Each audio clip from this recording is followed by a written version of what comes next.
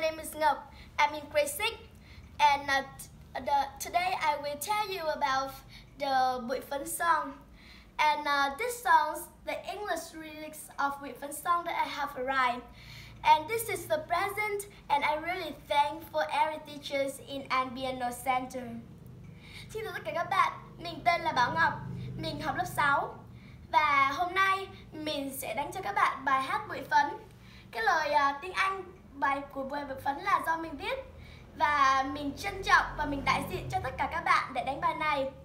Và các bạn biết không đặc biệt ở trung tâm piano ngoài được học uh, piano bằng tiếng Việt thì còn được học piano bằng tiếng Anh.